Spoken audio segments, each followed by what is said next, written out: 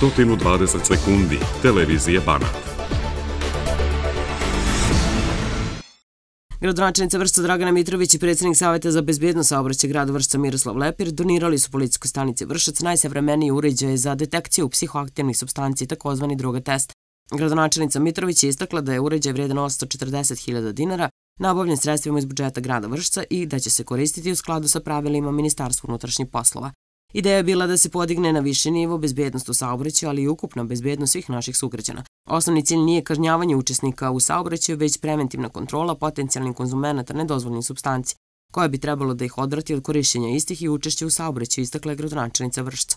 Lokalna samouprava opštine Bela crkva potpisala je ugovor sa izvođačem radova za rekonstrukciju glavne ulice, koji će ući u posao čim vremenske prilike to dozvole. Prema ranijim najavama najpre će biti izgrađeno postrojenje za sakupljanje atmosferskih voda, kao i preusmeravanje slivova na obudnu kanalsku mrežu. Time će konačno biti rešen 300 godina star problem slivanja svih opštinskih slivova kroz sredinu, te 1159 metara duge ulice. Potom će uslediti izgradnja novog kolova za parking mesta, pešački staza, javne rasvete i uređenje zelenih javnih površina. Centar Ministarstva odbrane Pančevo obaveštava zainteresovna lica muškog i ženskog pola da je i dalje u toku javni konkurs za prijavu kandidata za dobrovoljno služenje vojnog roka sa oružjem i vojno stručno osposobljavanje za rezervne oficire u 2024. godini.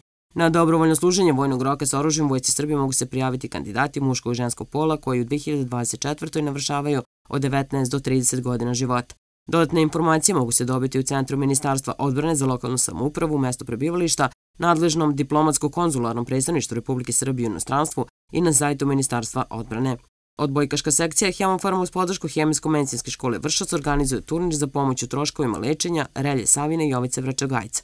Humanitarni turnir održat će se u subotu 13. januara u sali Hemijsko-medicinske škole u Vršcu sa početkom od 14 časova.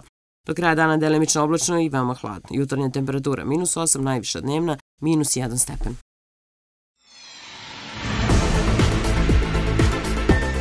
Stotinu 20 sekundi televizije Banat.